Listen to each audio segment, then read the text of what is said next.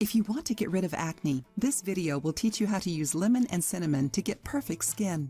When combined, lemon and cinnamon have a super beneficial effect for our health and can help treat many diseases, including acne. Do you want to know how?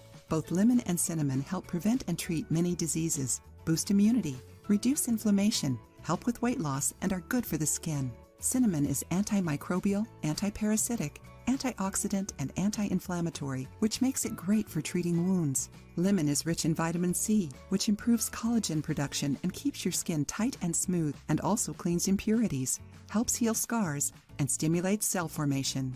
Learn how to make the recipe. 1 teaspoon of cinnamon, 1 tablespoon of lemon juice, a bowl, cotton pads.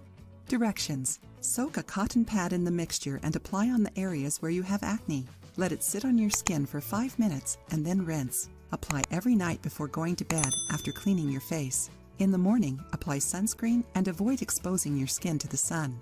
This recipe is great to treat acne and to make your skin lighter and healthier. The results will be definitely fabulous. Want more? Thanks for watching. tips? If this helps you, click the subscribe button and the bell icon for more daily health living videos.